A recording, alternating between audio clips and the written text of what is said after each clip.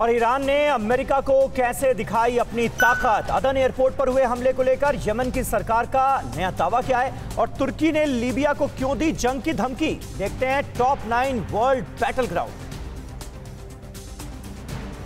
Oman की खाड़ी में युद्धाभ्यास के दौरान ईरान ने अपनी मिसाइल की ताकत दिखाई। फतेह क्लास सबमरीन से ईरान की नौसेना ने मिसाइल दागी। युद्धाभ्यास के दौरान ईरान की सेना ने अलग अलग तरह की मिसाइलें दागी और अमेरिका को साफ़ साफ़ संदेश दिया कि समंदर में जंग के लिए वो तैयार है।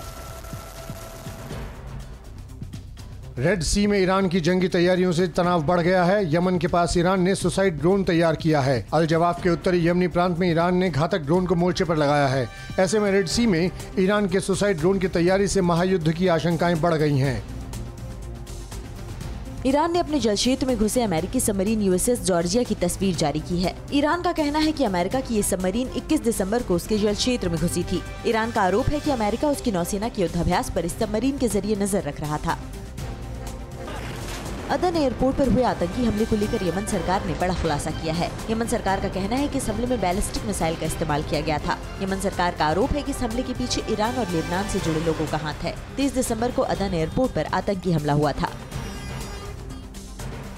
यमन की सेना ने दावा किया है कि उसने देश के उत्तरी इलाके में सेना के ठिकानों को निशाना बनाकर दागे गए हुती विद्रोहियों के ड्रोन को मार गिराया है। सेना के मुताबिक हुती विद्रोहियों ने अल जवाफ इलाके में सैन्य बेस को निशाना बनाने की कोशिश की थी। हालाँकि ये हमला नाकाम कर दिया गया था। संयुक्त राष्ट्र के अधिकारियों ने अमेरिका से कहा है कि वो यमन के हूती विद्रोहियों को आतंकी संगठनों की लिस्ट से बाहर करे। यूएन के अधिकारियों ने कहा है कि हूती विद्रोहियों को आतंकी संगठन घोषित करने से यमन में शांति प्रक्रिया को खतरा होगा। अमेरिका ने पिछले हफ़्ते हूती विद्रोहियों को आतंकी संगठन घोषित किया था। अमेरिकी रक्षा विभाग के अधिकारियों ने दावा किया है कि सीरिया में इसराइल के एयर स्ट्राइक के लिए अमेरिका ने इनपुट मुहैया करवाया था। बुधवार को पूर्वी सीरिया में इसराइल के लड़ाकू विमानों ने ईरान समर्थित आतंकियों के ठिकानों पर बमबारी की। इस भीषण बमबारी में दर्जनों लड़ाके मारे गए थे। तुर्की ने लीबिया को जंग की धमकी दी है। तुर्की ने कहा कि अगर लीबिया की नौसेना ने उसके जब्त किए गए शिप को नहीं छोड़ा तो इसके गंभीर परिणाम होंगे। लीबिया की नौसेना ने पश्चिमी लीबिया जा रहे तुर्की के शिप को जब्त कर लिया था। लीबिया को आशंका थी कि शिप में बागियों के लिए हथियार भेजे जा रहे हैं।